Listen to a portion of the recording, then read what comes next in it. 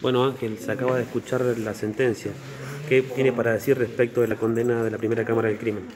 Que, ha sido muy, muy, benevolente, ha sido con ellos. Este, eh, me siento, pensaba que la justicia iba a ser más severa en este aspecto, o sea, más justa, y no con esta posibilidad de que en pocos años este, matan a una persona y pueden salir por la puerta. ¿viste? Y aparte se estaban riendo, se burlaban ahí, ¿viste? no sé.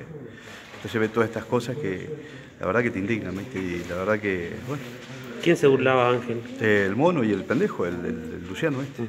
se reían ahí como diciendo esperábamos una condena más, más alta y mirá cómo, cómo quedamos. ¿no? Eh, Van presos igual, ¿no? pero este, los quiero ver ahora ahí, que vayan, vayan viendo el tiempo pasar, que no son pocos años tampoco, pero, pero ha sido, han sido flojos con el tema de, de aplicar.